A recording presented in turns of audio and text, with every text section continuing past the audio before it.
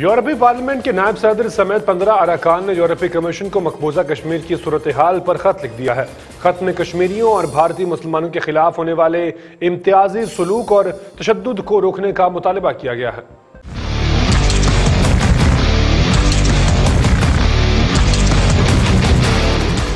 खत पर यूरोपीय पार्लियामेंट के नायब सदर समेत पंद्रह अरकान के दस्तखत हैं, जिसमें कहा गया है कि मकबूजा जम्मू कश्मीर में इंसानी हकूक की पामालियाँ हो रही हैं। पाँच अगस्त को मोदी सरकार ने कश्मीर के खसूसी स्टेटस खत्म किया और कर्फ्यू लगा दिया। खत में कहा गया है की काबिल अफसोस बात है की भारत जमहूरी रिवायात को खत्म करके मुआशरे में हिंदू कौमियत की अजारादारी बढ़ा रहा है। भारत कश्मीर के मसले की सियासी हल की बजाय अस्करी तरीके की जानब ले गया है।